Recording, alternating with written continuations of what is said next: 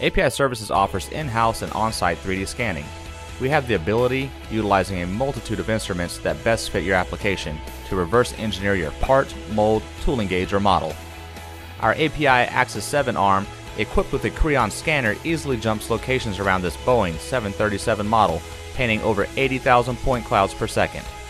This point cloud data can be imported into various modeling softwares to create a polygonized mesh model. The mesh is then cleaned up to fit into geometric entities.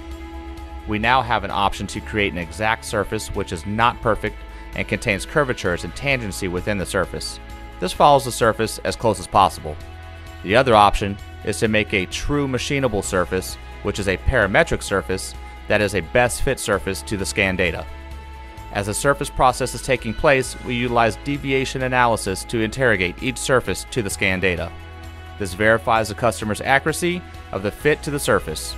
The final product is a fitted and trimmed watertight model.